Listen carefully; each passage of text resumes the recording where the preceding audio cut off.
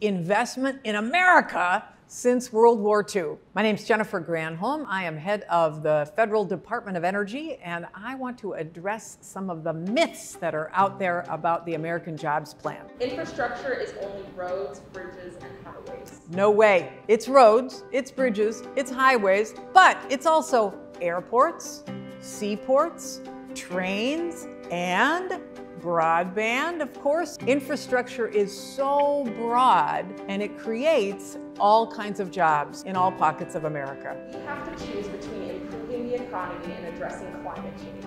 We can do both. There is a $23 trillion global market for the products that are going to reduce greenhouse gas emissions out there. Who's going to be making those products? Where are they going to go? Well, we could do nothing, or we could say, we as a country are going to corner the market on a number of these products to put our people to work. Clean energy will make bills go up for middle class Americans.